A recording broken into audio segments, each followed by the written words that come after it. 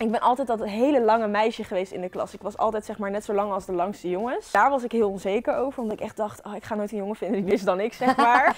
en omdat heel veel meiden in mijn klas al borsten kregen en, en vormen en dat soort dingen. En ik was echt maar echt die lange plank. Ik was dun, heel lang en ik had geen vorm en daar ben ik zo onzeker over geweest.